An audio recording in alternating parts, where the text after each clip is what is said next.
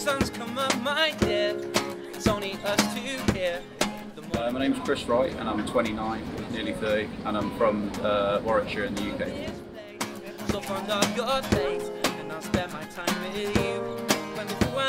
I actually started playing guitar really late. I, um, when I was 21, I found a guitar in the attic, in my attic at home that uh, belonged to my late father.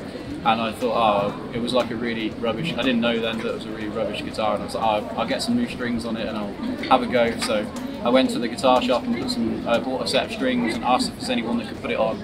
And it just so happened there was a guy there who was a uh, like a guitar teacher. So he gave me two or three lessons, and then uh, after two or three hours with him, I started learning stuff on my own, and then I didn't have any lessons since then. So I just, um, I'm just completely self-taught.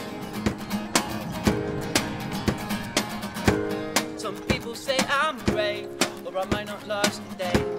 You can tell they don't get out much, but I will make their mistakes. And I don't know when I'll.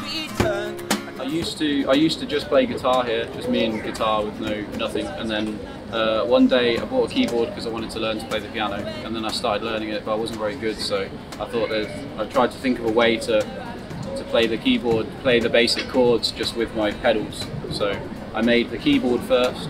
I used to stand up and just play with the keyboard, and then I was having trouble carrying everything around with me. So I thought oh, I'll use a suitcase, and then I thought I saw an idea on the internet somewhere about using a suitcase to make a drum, and I thought oh, I'll have a go at making a bass drum. So I made that, and then about three weeks ago I decided to add the, the snare drum and the cymbal just for a bit of extra.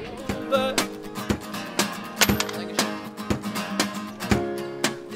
came we'll stay actually moved to Australia to do music for two years, and then after those two years, I went to Greece and uh, I met a girl in Greece, and then I came to Germany straight from Greece with her, and I've lived here now for two years. I'm quite lucky because uh, this is the this is probably the best city I've ever played in for street music. It's my favourite place to play. This is said and done. But I.